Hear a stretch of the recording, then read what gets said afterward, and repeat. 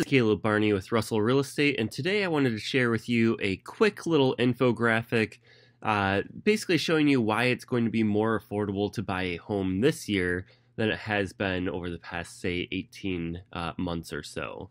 And uh, there's no question that affordability has been hit pretty hard, uh, especially from, I'd say, the midpoint of 2022 uh, all the way, and it continues today.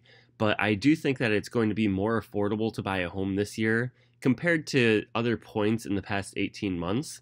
And really, there's a couple of reasons why. So, why don't we dig into this a little more? Um, the first thing, because really there's only three things that affect affordability.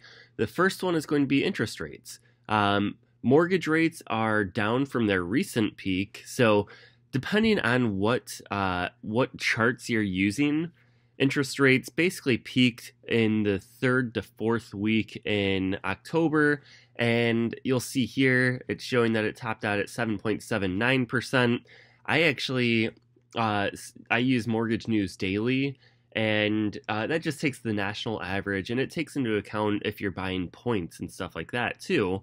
Um, and basically, their uh, average 30 year fix nationally hit just over 8% in that third week in uh, October of 2023. So we topped out at 8%. You know, you could see it's been steadily declining since then. And really, what the Fed has uh, showed us is that they are anticipating making at least three uh, rate cuts to the federal funds rate, which doesn't directly affect mortgage rates, but indirectly it does. Um, and that's where we are hoping to see interest rates drop down even further than where they are today.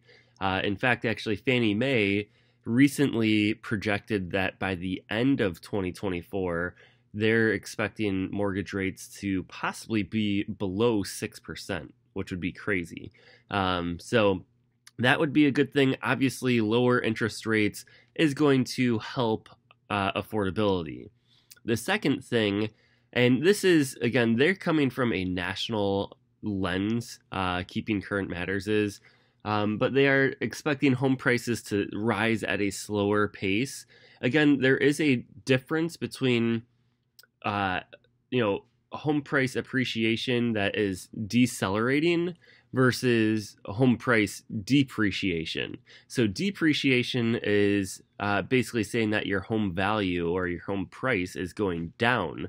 Uh, only one of the major uh, entities that they surveyed or that they looked at the uh, home price forecasts uh, forecasted a depreciation, and that's actually from Realtor.com.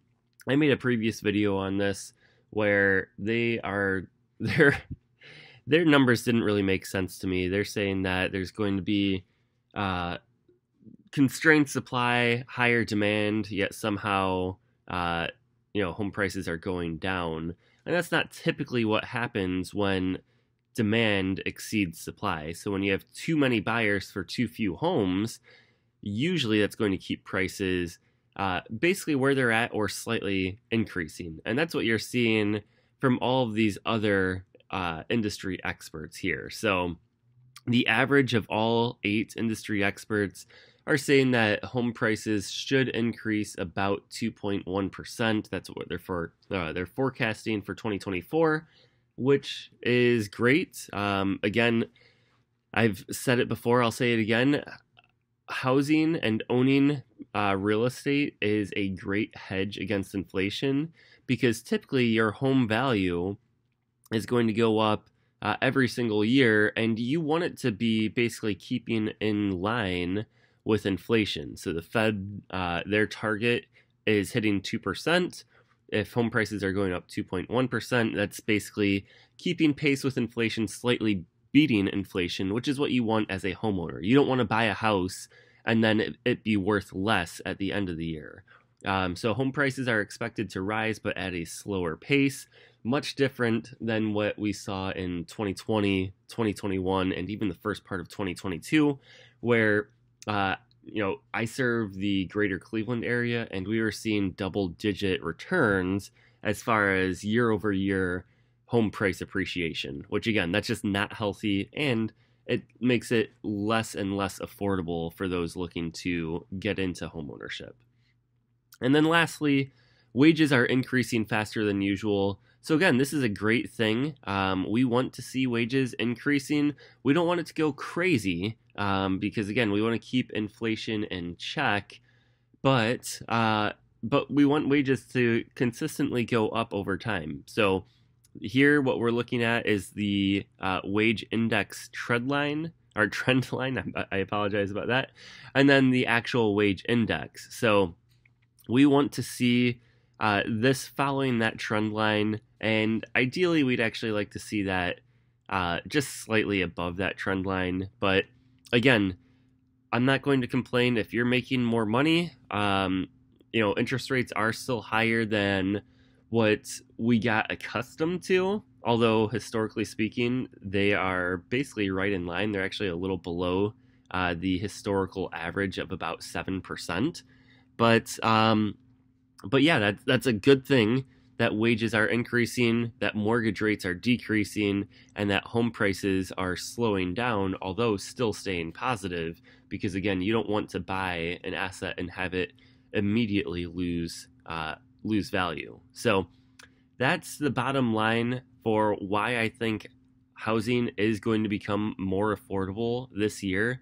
If you're looking to buy a home, whether it's for your primary residence, a vacation home, or second home, or if you're looking to buy or sell an investment property, uh, especially in the greater Cleveland or Northeast Ohio area, reach out to me. I'd be happy to answer any questions that you might have give you any guidance, and then obviously uh, I would be here to help with that purchase or sale as well. Again, this is Caleb Barney with Russell Real Estate, and have a great day.